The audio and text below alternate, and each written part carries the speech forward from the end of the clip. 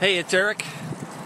I am out for a lunchtime ride on a beautiful spring day here on the American River in Sacramento. And with food on my mind, thought it'd be a good opportunity to talk about food on PBP. You have to put the quarter of the newspaper machine and pull them all out. Information. Okay. I'm, I'm, I think I've talked about this in the past, but uh, there's been quite a few emails going around on the, the email list, people talking about what they should eat and where they can find food and so on. So, here are a few thoughts on that. There are basically, oh, I guess four or five ways to get food on PBP. You, first of all, obviously, you are going to need to eat it's a long ride, so you're going to need to find calories out there somewhere. Now, obviously, everybody has different things that they like, foods that they can that they can eat, things that they can't eat. So that's really, I mean, that's a personal thing that uh, you'll have to deal with yourself. But with that in mind, here's some basic ways to get food on PBP. Now, the most obvious way is at the controls. Uh, every control has some kind of food there, from uh, full cafeteria to uh, snack food. So you'll always have a chance when you get to a control to find some food. Now, depending on when you go through the control, you may run into lines, uh, particularly if you're in one of the larger groups, like the 90 hour group, you may run into lines there that may slow you down a little bit. Uh, you're also going to have to pay for it. I've heard people complain that the food at the controls cost too much. I'm not sure that's true. Uh, in some ways, it's cheaper. I'll explain that in a minute, but I don't think it costs all that much. I recall, I think the last time I I rode PBP, I think I spent something like 100 to 150 euros on food, you know, over the course of three and a half days.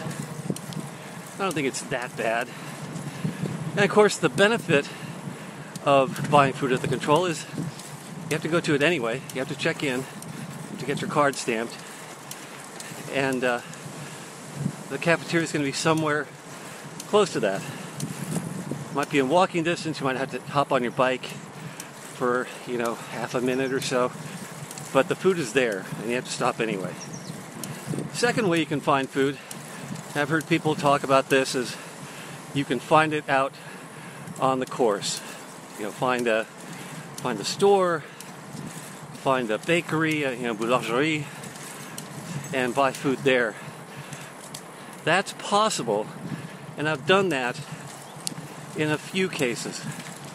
And you know, of course, in some of the larger cities, they're also going to be, you know, you might find a McDonald's out there in Brest, from what I've heard. But for the most part, my experience going through the kind of towns that you go through, which are generally, you know, smaller towns, villages, and such, uh, there's not a lot of places to buy food. And a lot of those are not going to be on the course.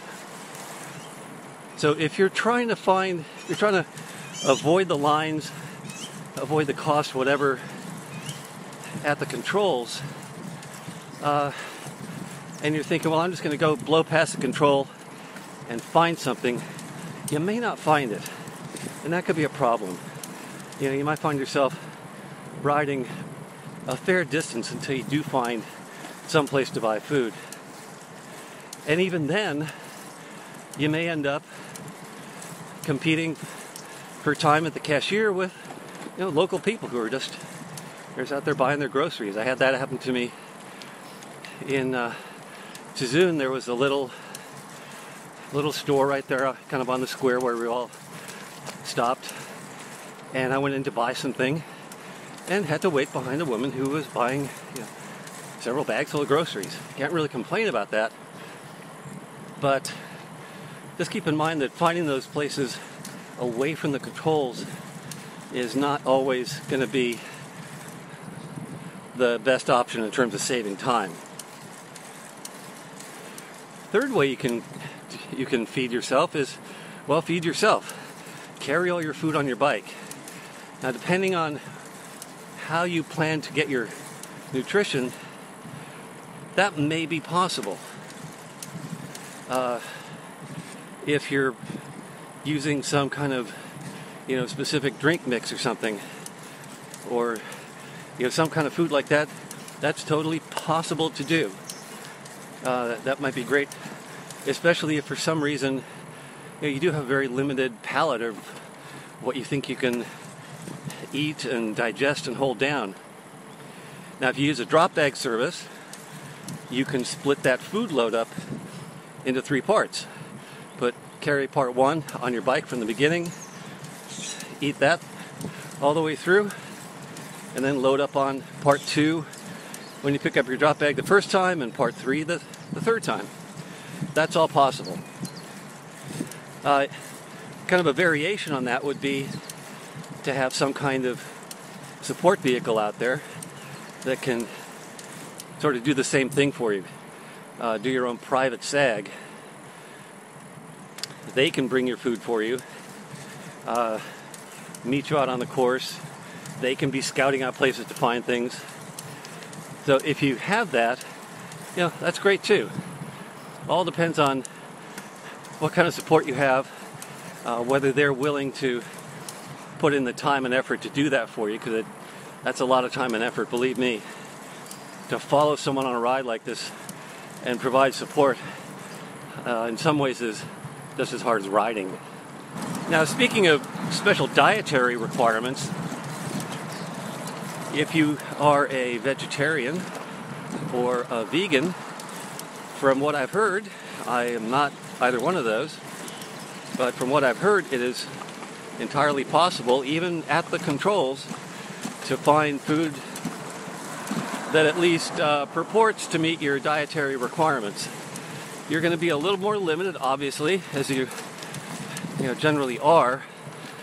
Uh, but even though the food at the controls is definitely omnivorous and more in the in the French manner of you know a lot of meat and fish and chicken and sauces and so on, uh, you will find things that you can eat there. Now, if you are very strictly vegan, uh, in particular, you might want to think about the option I was discussing of bringing your own food with you. Uh, it all depends on what you're what you're willing to accept and how stringent you are about sticking with your preferred diet plan. Now, along with food, obviously goes drink, and at all the controls, you are going to find uh, in the cafeteria at least. You know, pretty full range of things to eat or things to uh, things to drink. Uh, sodas, they will also you have uh, you know sparkling water, sodas, whatever. So you are going to find a pretty full range of things to drink at the controls, from sodas and sparkling water to beer and wine, if that works for you on a ride. They'll also have obviously lots of water. There's usually at least one designated water location where you can fill up your bottles. Uh, for what it's worth, I've never had trouble with any of the water in France. Just drink it without thinking about it. So I think you'll be safe from any kind of intestinal issues. If you do run into something intestinal, whether just because something didn't agree with you or your system is not working well at the time. Again, at the controls, you're going to find medical help. Uh, they will do whatever they can to get you back on the bike, settle your stomach down, replace whatever might be missing in your system. So definitely avail yourself of that if you're in need of it. Uh, I have friends who've done that, and they've been very helpful. they will generally have someone there who can translate English, uh, either the medical personnel themselves or somebody else. They're very good about that at the controls. One thing I left out when I was talking about the controls and sort of pluses and minuses of them, and again, depending on what time you go through the controls, uh, early in the ride, late in the ride, and so on, you may find shortages or maybe not quite the selection of food that was there at the beginning. I've never had too much trouble with that.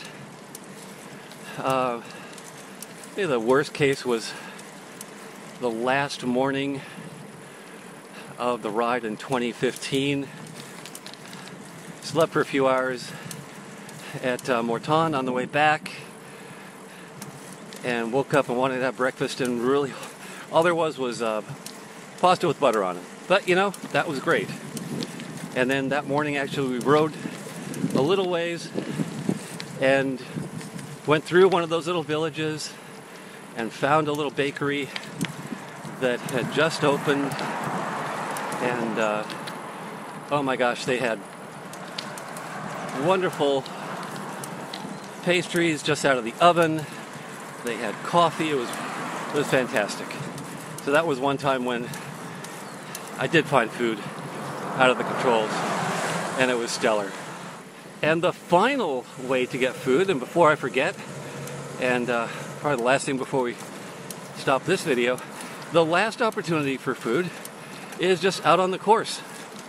You will find many, many families out there alongside the, the route who will set up a, a small card table either up by the side of the road or in their garage or whatever where you can see it.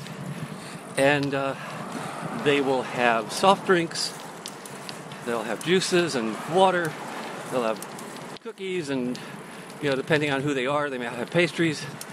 It's generally all offered for free, and they are just out there to help you finish the ride. People on the route love this event, they love the riders, they love supporting us, and uh, they will be there at all times of the day and night. You will be there out somewhere in the middle of nowhere, in the middle of the night, and you'll see you'll see people with a lantern, and they are cheering you and offering you coffee and so on. Fantastic. So, when those little moments of serendipity come up, definitely try and take advantage of it because that's really a main reason for going and doing PBP is just to experience that, to meet the people, and to show them that you appreciate them as much as they appreciate you. So that's a few words about food. I hope you find wonderful things to eat and drink out on the course. In the meantime, stay safe. Hope you all do well in your qualifiers and finalizing your registration over the next few months, and I will look forward to seeing you in France in about five months. I see you then.